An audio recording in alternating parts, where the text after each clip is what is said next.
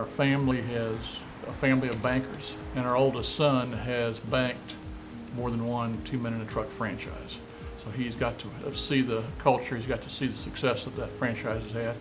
And uh, he's the first one that said this may be our first shot to have a family franchise business.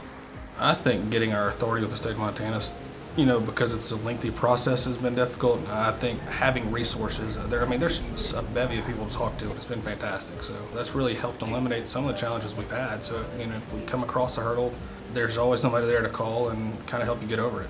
Two of us came out of the commercial banking business where you're dealing with a service and you're dealing with differentiating yourself from your competitors in a very customer-centric way. And so that background that we have and the, and the alignment with the core values of Two Men and a Truck mesh very well with us.